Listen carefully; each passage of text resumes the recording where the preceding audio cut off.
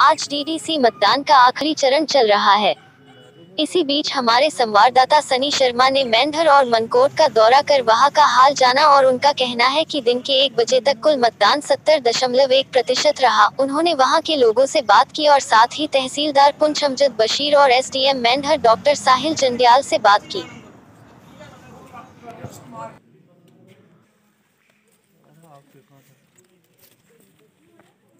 कौन आ रहा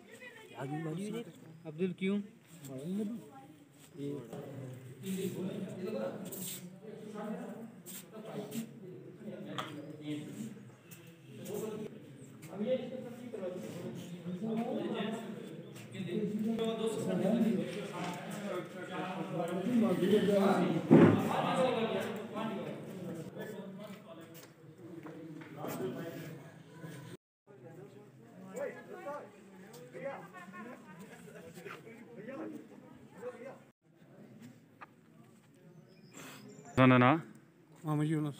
यूनस जरा बोर्ड ने काबुल बंदा है जरा पसंद है उसी पर जी। हाँ।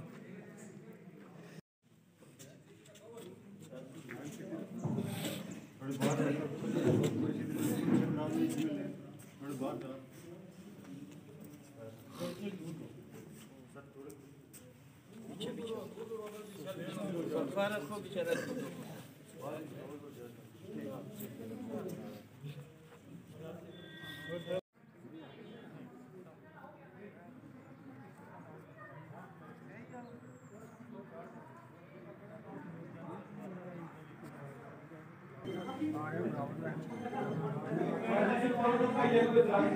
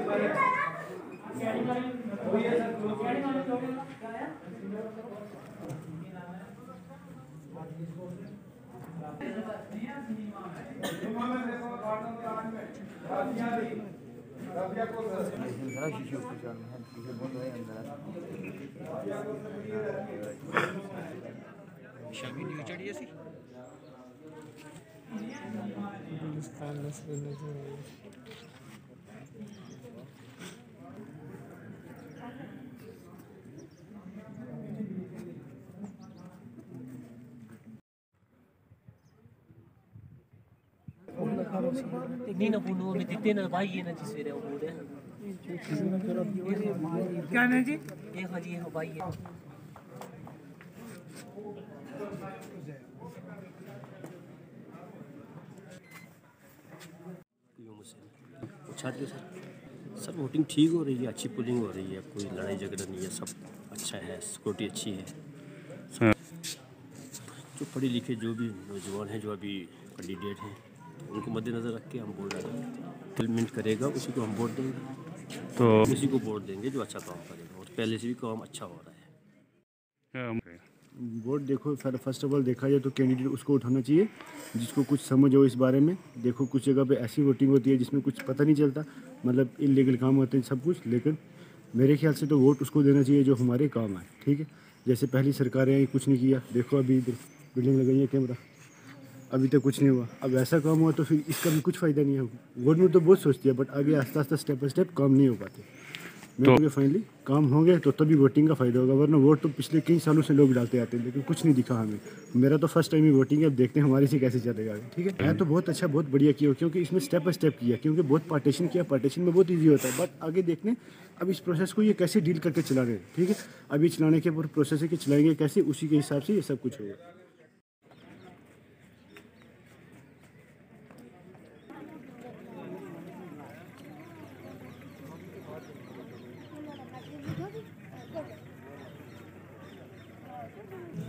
ऊपर है सर पता नहीं तो साढ़े नाल एक वो है अपना बाकी श्याम साहब। ठीक है।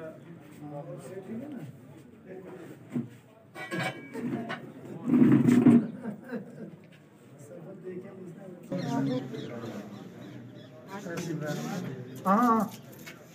नहीं सर वो मंडी थाने होना sir. Burada sıfır şimdi itiniz. Seçeyim.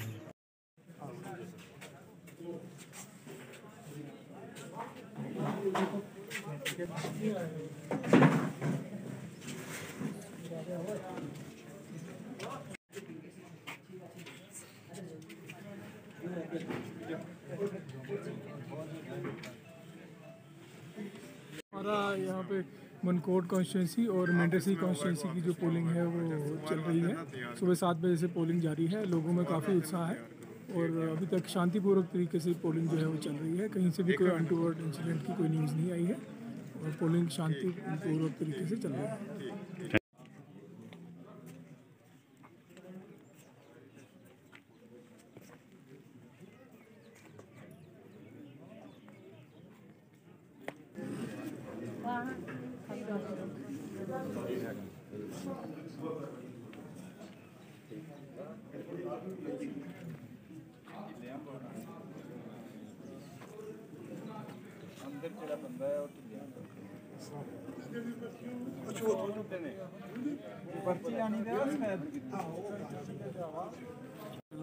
रहीम मैं मनकोट लोअर का सरपंच हूँ।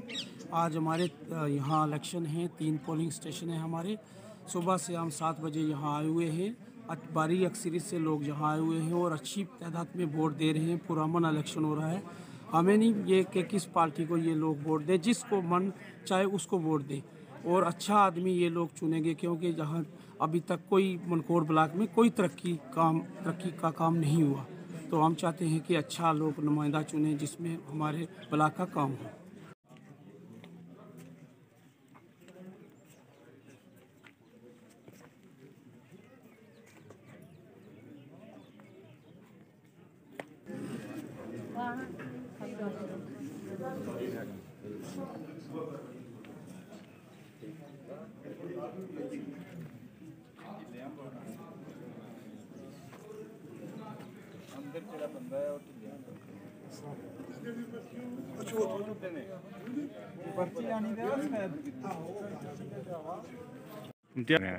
सर, बात यह है कि ये पहली बार इलेक्शन हो रहा है डीडीसी का। तो हम इलेक्शन कर रहे हैं, पहली बार ही है। तो हम इसमें वही बंदा चुनेंगे जो हमारे इधर डेवलपमेंट करेगा, हमारे नौजवानों के बारे में सोचेगा। तो जो हम मतलब हमारे इधर रोडें हैं और खेलने के लिए कुछ नहीं है। मतलब यहाँ पर कोई प्ले ग्राउंड नहीं है। बहुत मतलब बहुत हम बहुत पीछे हैं। हमारा इधर इलाका बहुत पीछे है हम क्या बताएँ आपको? तो इसलिए हम वही बंदा चुनेंगे जो हमारे इधर डेवलपमेंट करेगा। तो इसलिए मैं बस यही कहना चाहता हूँ। नाम? आमिर रियाज खान ये जो इलेक्शन है ये डीडीसी इलेक्शन है जो फ़र्स्ट बार हमारे जम्मू कश्मीर में हो रहे हैं। ठीक है? हमने मतलब आज से पहले लोग बहुत सारे लोग आए एमएलए जैसे कि रहे मतलब कोई डेवलपमेंट नहीं की। इस बार हम यही चाहते हैं कि जिसको हम चुने जो भी कैंडिडेट हो जिसको हम चुने जो जो जीते वो यही करे कि यूथ के लिए सोचे यूथ की डेवलपमेंट के लिए सोचे हमारी रोड्स के लिए सोचे। और हमारे यहाँ मतलब बॉर्डर एरिया भी थोड़ा नज़दीक है यहाँ भी शेलिंग वगैरह होती है। उसकी मतलब सेफ्टी के लिए सोचे यूथ के बारे में सोचे कि आगे क्या करना है हमें स्टेडियम दे मतलब डेवलपमेंट चाहिए हमें बिल्कुल अच्छी तरीके से। आमिर जी बताएँ आज आप वोट करने आए हैं पहली बार डीडीसी इलेक्शन हो रहा है तो क्या कहेंगे इसमें?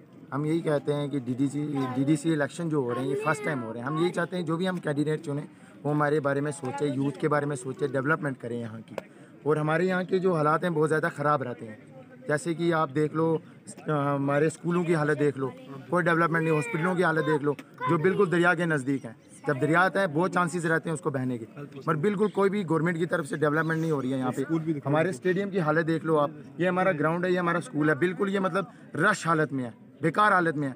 यहाँ के जो बच्चे हैं वो क्या पढ़ेंगे और क्या हमारी जो यूथ है क्या सीखेगी उसको देख के? लो मतलब जो हमारे जो यूथ है, वही पढ़ के तो आगे जाके इस देश की डेवलपमेंट करेगी। मगर उसके लिए जो हमारे, जो भी यहाँ के सियासी लीडर हैं, वो ये चीज़ नहीं सोचते हैं। जो इस बार जो डीडीसी इलेक्शन हो रहे हैं, हम यही चाहते हैं कि ये हमारी यूथ के बारे में सोचें, हम लोगों की डेवलपमेंट के बारे में सोचें। रोड्स रोड्स की हालत देख लो आप। तो हम मतलब सरकार का शुक्रिया अदा करते हैं कि हमारे जम्मू कश्मीर में ने डी सी इलेक्शन लाए, कि इससे हमें मतलब बहुत ज़्यादा फ़ायदा होगा, हमें यूथ को फ़ायदा होगा डेवलपमेंट होगी हमारे यहाँ की। और हमारे यहाँ पे देखो आप, दरिया भी बहुत नज़दीक है। यहाँ पे कोई मतलब सेफ्टी नहीं है कि जब दरिया आएगा कहाँ चला जाएगा? किस किस को बह के ले जाएगा? कोई आरसीसी भरे नहीं जा रही है कुछ भी यहाँ पे काम नहीं हो रहा है। रोड्स के हालत देखो बिल्कुल बेकार है। और हम अ, सरकार से यही अपील करते हैं जो भी हमारे यहाँ का कैंडिडेट हो वो यही करे कि यहाँ की यूथ के बारे में सोचे और यहाँ की डेवलपमेंट करे।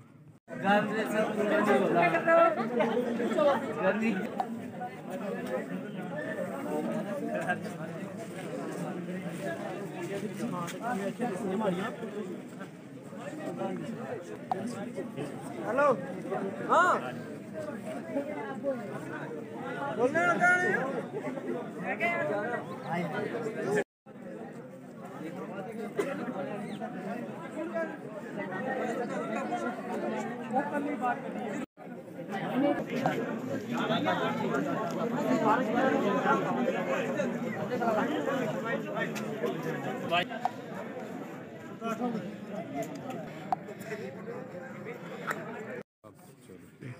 देखो, मेरे इलाके में जहाँ तक सवाल है, यहाँ तक बिल्कुल पीसफुल हो रही है। लेकिन हम ये चाहते हैं कि कोई भी कैंडिडेट यहाँ है यहाँ की डेवलपमेंट तो होनी चाहिए? साफ़ सुथरी पहले इतनी नहीं थी। तो अब अल्हम्दुलिल्लाह यहाँ तो ठीक है, लेकिन इर्द गिर्द हम सुन रहे हैं कि वहाँ कैप्चर हो रही है, जिस तरह खुड़बनी के एरिए में या कालाबान छुंगा के एरिए में, वहाँ गड़बड़ चल रहा है। मसला क्योंकि फ़ोन पर लोग हमें कह रहे हैं, वहाँ कैप्चर किए हुए हैं। कुछ लोग बाहर से कल भी हमारी डीसी साहब से और एसपी साहब से ये हमने मुलाकात की थी और उनको ये कहा था कि बाहर के लोग यहाँ आएँगे। और उन्होंने एक दिन पहले ही गरसाई से और इर्द गिर्द से बंदे लाकर वहाँ जमा कर दिए। पठाना तीर का भी सुनाया खुड़बनी का सुनाया, नाड़ सलवा का। वहाँ बाहर से बंदे आए हुए हैं।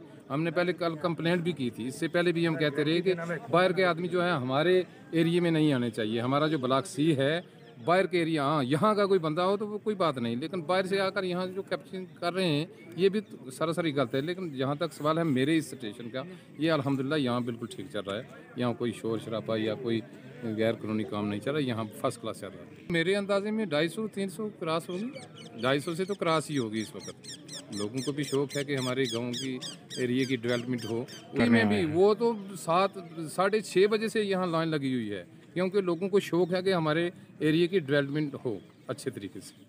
मोहम्मद एजाज मीर, जी, जैसे कि आप देख रहे हैं कि यहाँ लोगों ने बढ़ चढ़ के हिस्सा लिया वोटिंग के लिए, सभी लोग आए वोट देने के लिए। और जैसे कि आप डेवलपमेंट देख रहे हैं कि लोगों को चाहिए डेवलपमेंट के लिए। और वो वो लोग जो है तब्दीली चाह रहे हैं, जैसे कि इससे पहले लोग 20 साल देख रहे हैं, लोग आपने रोड की हालत देखी होगी। दूर दराज इलाकों में पानी नहीं है, लोगों को बिजली नहीं है। इसलिए लोग तब्दीली चाह रहे हैं तो ज़्यादा से ज़्यादा जो है अपने कैंडिडेट को वोट करने के लिए आए हैं। जैसे कि आप अभी देर से पहुँचे हैं हम तो यहाँ से सुबह सात बजे से पहुँचे हुए हैं। काफ़ी हजूम था पहले लोगों का तो लगभग फिफ्टी परसेंट पोलिंग हो चुकी है इससे पहले। तो लोग यही चाह रहे हैं कि तब्दीली आए। अब हर तरह से आप देखें तो आवाज़ ही आ रही है कि तब्दीली होनी चाहिए।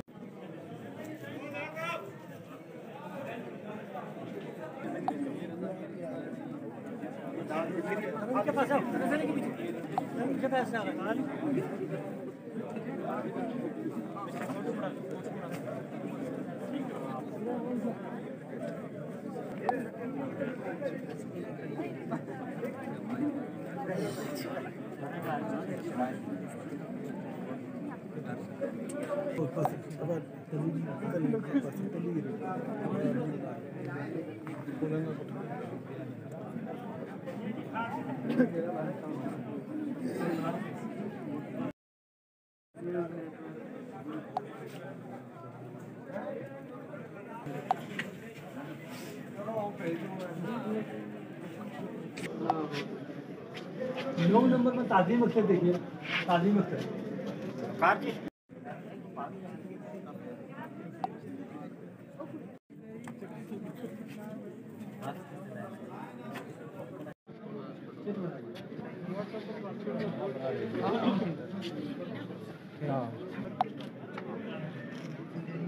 ठीक है।